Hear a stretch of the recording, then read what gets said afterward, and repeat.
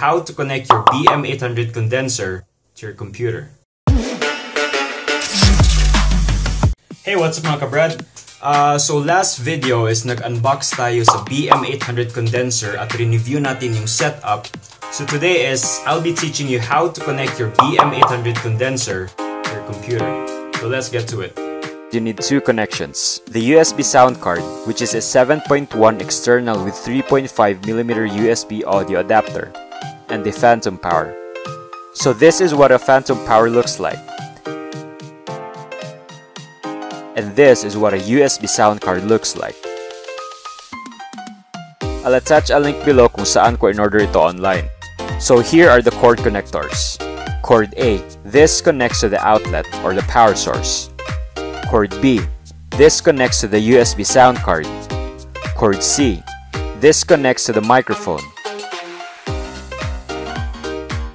Step 1 Step 1 Connect cord C from the microphone to the phantom power.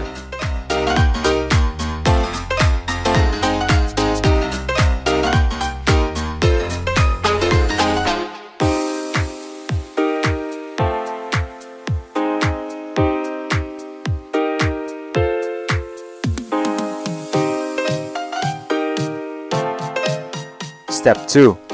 Connect cord B from the USB sound card to the phantom power.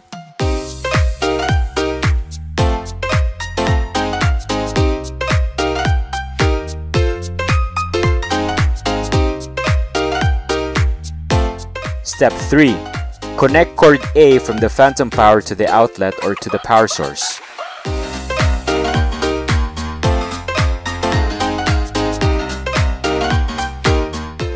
Step 4. Switch on the phantom power. Step 5. Connect the USB sound card to the USB port of your computer. You can see that it's working when the lights go on and off. So ayan, you're all set now with your connections. Next is we need a software kung saan tayo mag-record gamit ang ating BM800 condenser. You need to install Audacity. May link sa ibaba and it will direct you to the site. It's safe and it's also free.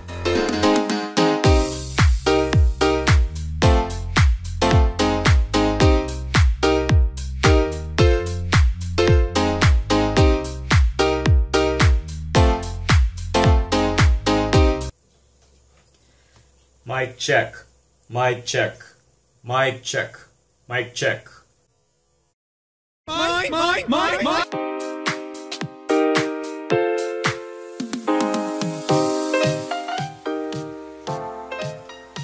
Mic check. Mic check.